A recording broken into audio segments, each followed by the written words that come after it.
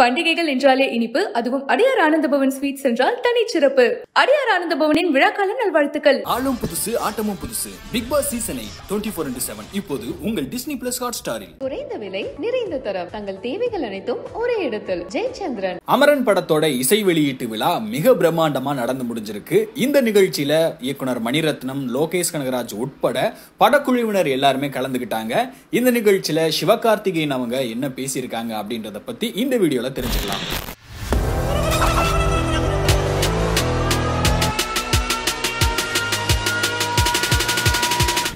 A beginning. ரசிகர்களோட ஆரவார கூச்சலுக்கு மத்தியில மேடையில ஏறின சிவகார்த்திகேயன் ஆரம்பமே வந்து பாத்தீங்கன்னா ரொம்ப அசத்தலான ஒரு ஸ்பீச்ல தான் ஆரம்பிச்சாரு. நான் விழும்போது கை தந்து எழும்போது கை தட்டி எப்போதும் என் கூடவே இருக்கிற என் பிரதர்ஸ் அண்ட் சிஸ்டர்ஸ் அப்படின்னு சொல்லி ஆரம்பிக்கும் போது ஆடியன்ஸோட கூச்சல் வந்து அப்படியே காதை கிழிக்கிற லெவலுக்கு இருந்துச்சு. அதுக்கப்புறமா முகுந்த் அவங்கள பற்றி பேசியிருந்தாங்க. ஸோ முகுந்த் சாரை பற்றி நான் வந்து ஒரு நியூஸில் தான் பார்த்து தெரிஞ்சுக்கிட்டேன். அதுக்கப்புறமா டேரக்டர் ராஜ்குமார் பெரியசாமி இந்த படத்தோட கதையை சொன்னதும் எனக்கு அது ரொம்ப மனசில் வந்து பாதிச்சுது. இந்த படம் அப்படின்றது வந்து அவரோட பயணத்தை பற்றினது அவர் வந்து ஒரு நல்ல தலைவர். முக்கியமாக இந்த படத்தோட இன்டர்வல் காட்சி வந்து நாங்கள் காஷ்மீரில் நைட் நேரத்தில் தான் ஷூட் பண்ணோம்.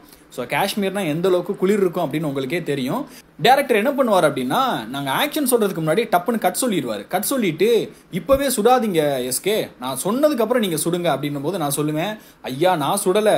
இந்த குளிரில் கை நடுங்குது அப்படின்னு சொன்னேன். ஸோ அந்தளவுக்கு பயங்கரமான ஒரு குளிரில் தான் வந்து நைட் நேரத்தில் நாங்கள் ஷூட் பண்ணியிருந்தோம். ஸோ ராஜ்குமார் பெரியசாமியை பற்றி சொல்லணும்னா பிக் பாஸ் நிகழ்ச்சியோட டேரக்டராக இருந்திருக்கிறாரு. என்னையும் பிக் பாஸ் மாதிரி ஒரு நூறு நாள் காஷ்மீரில் கூட்டிகிட்டு போனார். அங்கே வச்சு ஷூட்லாம் பண்ணார். ஸோ நானும் இசையமைப்பாளர் ஜிவி பிரகாஷும் வந்து கூடிய விரைவில் இன்னொரு படத்தில் இணைய இருக்கிறோம். ஸோ திரும்பவும் அந்த காம்போவை நீங்கள் பார்க்குறதுக்காக ரொம்ப வெயிட் பண்ணுறீங்க அப்படின்னு நான் நம்புகிறேன் ஸோ அதுக்கப்புறமா ஹீரோயின் சாய் பல்லவி. சாய் பல்லவியை வந்து நான் பிரேமம் படத்தில் தான் வந்து பார்த்தேன்.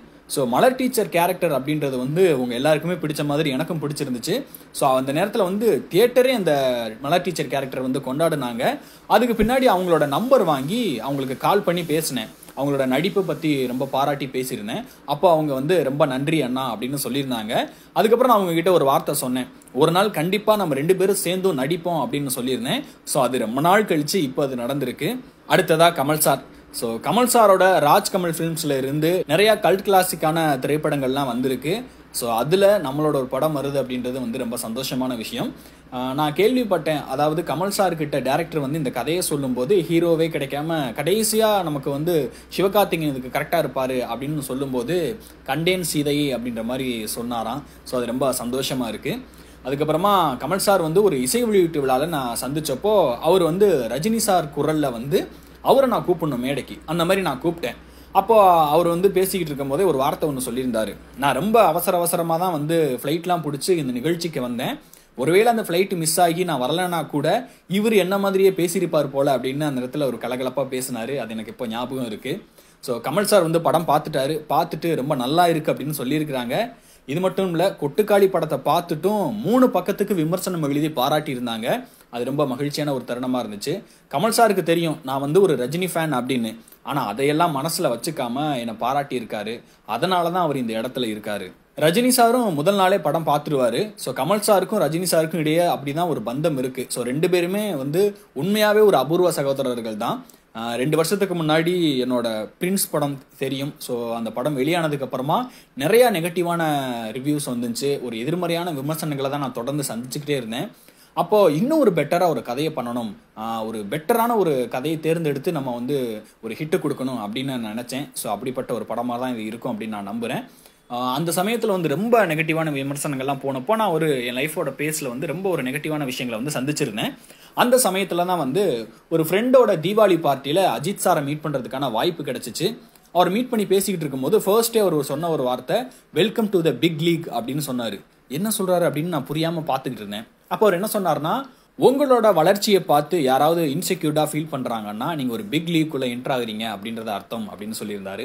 அப்போதான் எனக்கு தெரிஞ்சிச்சு நம்மளை சுற்றி இருக்கக்கூடிய எதிர்மறையான விஷயங்களை எப்படி பாசிட்டிவாக நம்ம பார்க்குறது அப்படின்னு. ஸோ நம்ம வாழ்க்கையில் பிரச்சனைங்கிறது சென்னை மழை மாதிரி தான். எல்லாத்துக்கும் தயாராக இருக்கும்போது வராது. ஆனால் ஜாலியாக இருக்கும்போது ஒரு காட்டு காட்டிட்டு போயிடும் அந்த சமயத்துல எதிர்நீச்சல் போட்டு தான் வரணும். எப்போதும் சந்தோஷமா இருங்க இது உங்களோட வாழ்க்கை அப்படின்னு சொல்லி ரொம்ப அழகா அவரோட ஸ்பீச்சை வந்து முடிச்சிருந்தாரு. பண்டிகைகள் என்றாலே இனிப்பு அதுவும் அடியார் ஆனந்த பவன் ஸ்வீட்ஸ் என்றால் தனிச்சிறப்பு. அடியார் ஆனந்த பவனின் விழாக்கால நல்வாழ்த்துக்கள். ஆளும் புதுசு ஆட்டமும் புதுசு. பிக் பாஸ் சீசனை டுவெண்ட்டி ஃபோர் இன்டூ செவன் இப்போது உங்கள் டிஸ்னி பிளஸ் ஹாட் ஸ்டாரில் குறைந்த விலை நிறைந்த தரம். தங்கள் தேவைகள் அனைத்தும் ஒரே இடத்தில். ஜெயச்சந்திரன்.